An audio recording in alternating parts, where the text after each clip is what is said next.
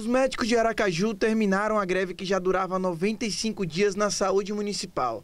A categoria aprovou em assembleia hoje pela manhã o acordo com a prefeitura para o pagamento do restante do salário de dezembro. Acabamos construindo uma proposta similar àquela que a gente já tinha lançado há algum tempo atrás, que eram as quatro vezes, que agora restavam duas.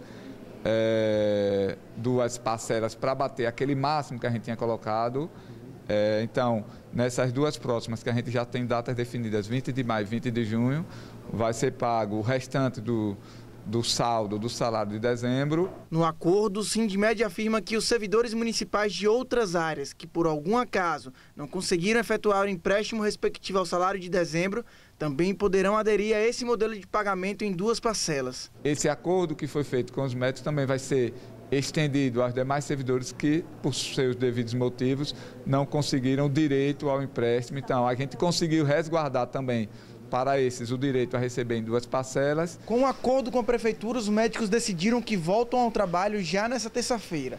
E com essa questão do salário superada, a briga do sindicato ao longo do ano agora vai ser as condições de trabalho da categoria. A partir de amanhã, às 7 horas, vira-se a página desse problema do salário atrasado. Na nossa proposta, a gente também já garantiu que o ano todo a gente não vai ter mais essa repercussão negativa no tocante ao salário, e aí sim agora a gente vai discutir é, os âmbitos, é, os âmbitos das condições de trabalho, que a gente espera agora que a gente avance.